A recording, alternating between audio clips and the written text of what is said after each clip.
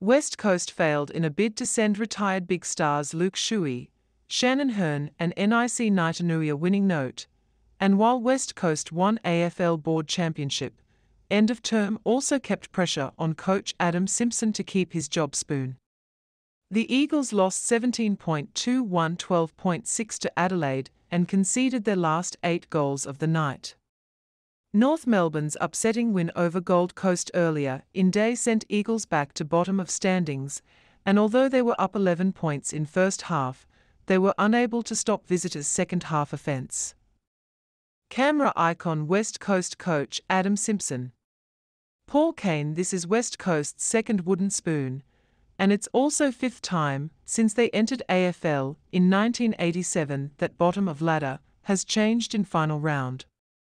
Eagles fans came to bid farewell to Shuey, Hurn, and Naitanui after their stellar careers.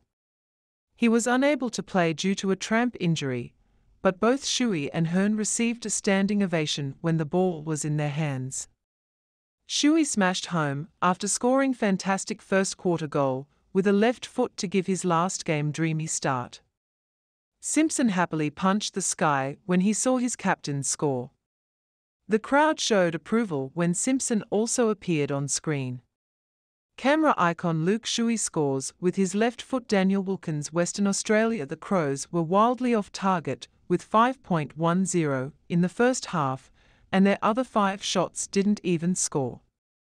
The West End were significantly more productive at half-time despite having 10 fewer points in the 50s.